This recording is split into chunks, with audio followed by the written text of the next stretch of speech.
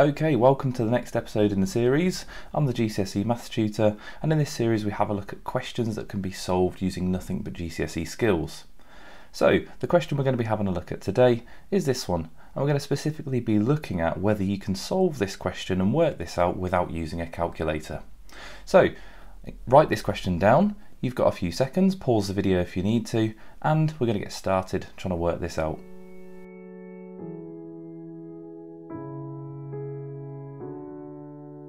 Okay, so getting started. Now looking at this question, we need to first have a look at simplifying what's inside the brackets. So we're going to take that out and we're just going to have a look at what's inside.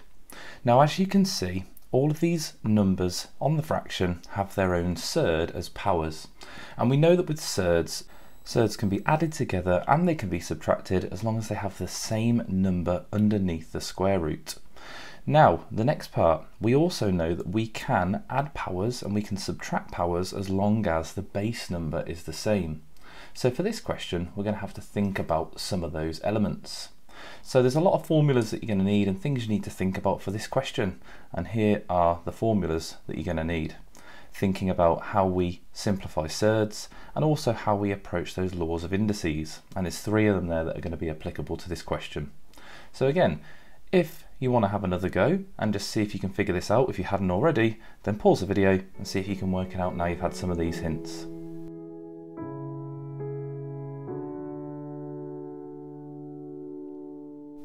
Okay, so on to the solution. Now, first things first, let's have a look at seeing if we can simplify some of these surds. So you've got root 27, root 75 and root 48. Now they are all multiples of 3. So 9, 25 and 16 are all square numbers, so they can all be simplified. So if we simplify these surds, we would get this. 2 to the power of 3 root 3, 8 to the power of 5 root 3 and 4 to the power of 4 root 3. Now we know that obviously we can add some of these powers together and subtract the powers in the fraction as long as the base numbers are the same. So let's focus on these two numbers and we can turn them into a base number of 2. 8 is 2 cubed and 4 is 2 to the power of 2 or 2 squared. So straight away let's change them. And when you change them like this you want to put them into a bracket. So 8 has become 2 cubed and 4 has become 2 squared.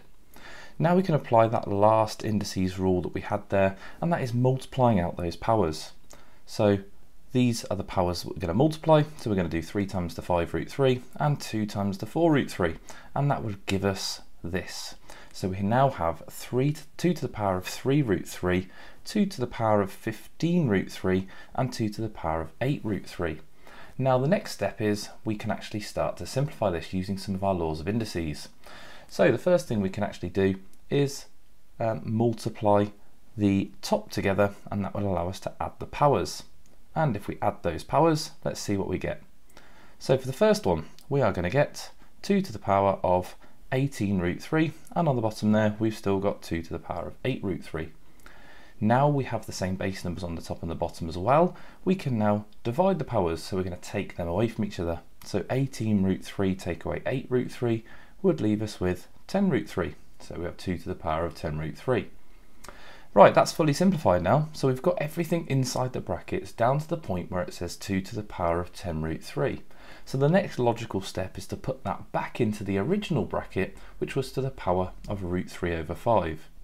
So if we put that back into our bracket, and again we can apply the bracket rule there in our laws of indices, and we're going to multiply those powers.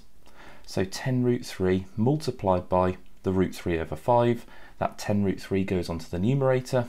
Remember the root 3 can multiply the root 3 and we could write the first step as 10 root 9 over 5 or if you're happy to just turn that straight into 3 that would become 30 over 5. So we have 2 to the power of 30 over 5. 30 divided by 5 is 6 so that becomes 2 to the power of 6. So there we go. All of that is simplified down to 2 to the power of 6. So if we put this all back together then, and let's have a look, all of that is equal to 2 to the power of 6. We also know that 2 to the power of 6 is just 2 times itself, 6 times, and the answer to that is 64. So there we go, all of that came out as 64, and there is our final answer. There we go, I really hope you enjoyed that. Again, if you like that video, if you like this series, please do subscribe to the channel, please do sh share all these videos with your friends, see if you can challenge someone to, um, to one of these questions, and I'll see you on the next episode.